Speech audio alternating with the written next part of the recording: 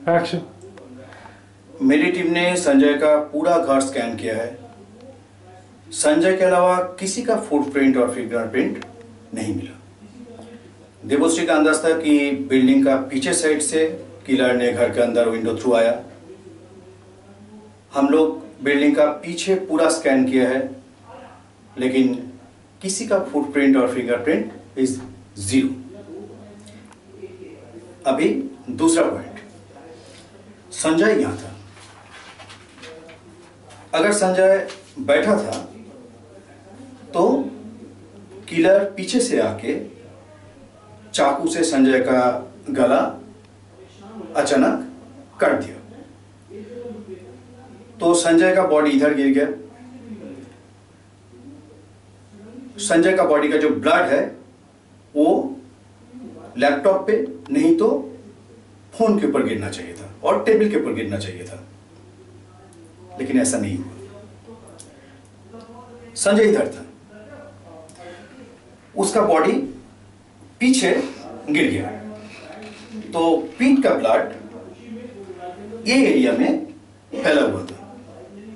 और चाकू चाकू यहाँ था। तो व्योमकेश बाबू, तुम्हारा कहना है कि क्राइम सीन पर कोई आया ही नहीं?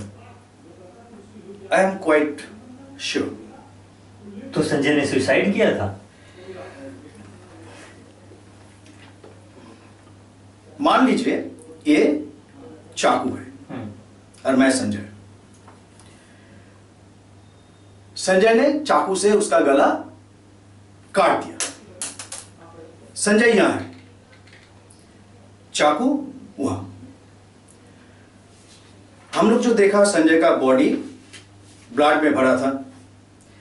पूरा शर्ट में ब्लड था। ऐसे। तो मतलब संजय ने सोफिया के लिए फ्रांसिस को मारने की धमकी दी। फिर वो आइडिया ड्रॉप कर दिया और फिर सुसाइड कर लिया। ये तो और भी लॉजिकल है। अगर हमने ये प्रेस के आगे सुसाइड थ्योरी रखी तो बहुत बैकलैश मिलेगा। मीडिया भी यही कहेगा कि हम किलर को ढूंढ नहीं पा रहे हैं, इसलिए सुसाइड डिक्लेयर कर दिया और केस दबा रहे हैं।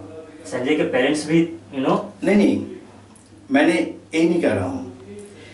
अभी तक जो एविडेंस मिला है, उसके बेसिस से मैं स्ट्रांगली बोल सकता हूँ जिस ऑनर सुइसाइड किया है। लेकिन कुछ सवाल का जवाब अभी तक नहीं मिला। जैसे संजय का फ्रांसिस को थ्रेड कॉल सोफिया का कनेक्शन लेकिन सोफिया और फ्रांसिस ने जो कह रहा है, बात उससे भी ज़्यादा डीप है।